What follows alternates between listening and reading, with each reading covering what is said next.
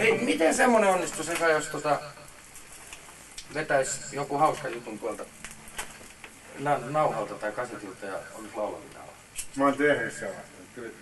Kokeillaan. Mun on pitänyt näyttää sitä joskus. Mä vedin... Joo, mä, mä olla oon semmonen nähnyt. biisi vaan, minkä osa. Mä vedin sieltä jotain. Ja sit Jani soi. Paul McCartney, niin vittu se menee. Kokeillaan. Paikkapaikoin se menee niin hyvin nappiin, että se luulisi, että se laulaa itse. Kokeillaan vaan vähän aikaa kiinni toi sun.